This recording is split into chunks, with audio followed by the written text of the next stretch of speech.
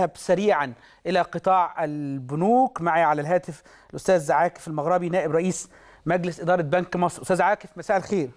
مساء الخير خالد يعني آه، حضرتك أقدر منا على الشرح في بعض الأمور التي تتعلق بالقرارات التي خرجت من البنك المركزي ومن آه، مجلس الوزراء.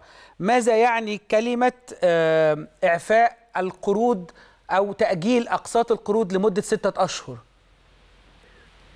طيب مبدئيا دي بس يعني جزء من هزمة المبادرات اللي خدها آه، البنك المركزي طبعا والحكومة لدعم المواطن بالذات في الفترة الصعبة دي. يعني كان في حاجات قرارات اتخذت حوالي سنة لدعم الصناعة ودعم الاسكان المتوسط و آه، وبالنسبة برضه المصانع اللي هي متعثرة وغيره. فده جزء منها وبالذات جت أهمية المبادرة دي مع انتشار فيروس الكورونا.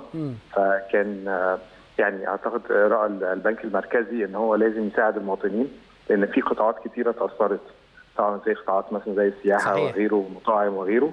فبالتالي العاملين بهذه القطاعات آه، برضو تاثروا فبالتالي ده كان خد المبادرة إن هو يساعدهم إن ما يحصلش آه، تعثر بالنسبة لهم أو يبقى عليهم ضغوط خلال الفترة دي.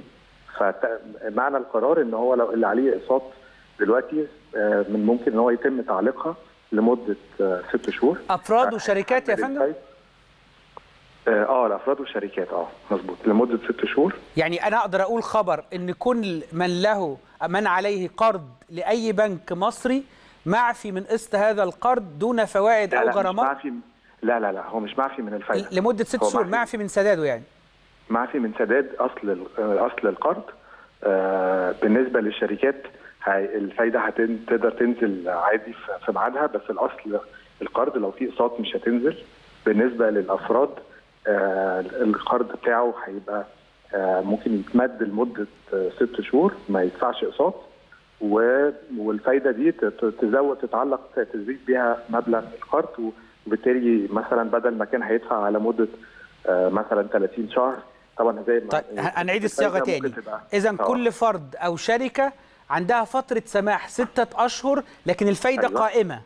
آه الفايدة قائمة بس ما فيش فايدة فيش فايدة أو غرامات تأخير. هي دي اللي هي آه، هم لا يبقى في فايدة بس ما فيش غرامات تأخير.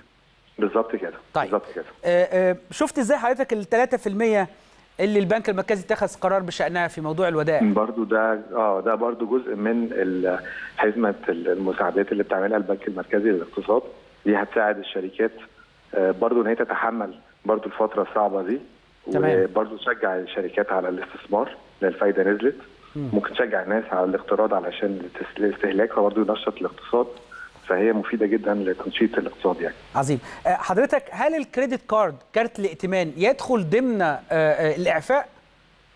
آه برضو آه برضو. كل ال كل التسهيلات. ده, ده يعني أنا زمايلي في البرنامج بيوجهوا لك التحية لأنه يعني كان الموضوع ده ملتبس عليهم.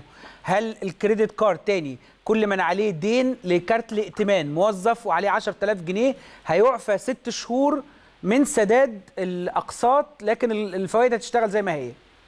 آه مظبوط يا فندم مظبوط. تمام. بشكرك. شكرا جزيلا. أستاذ عاكف المغربي نائب رئيس مجلس إدارة بنك مصر. اذا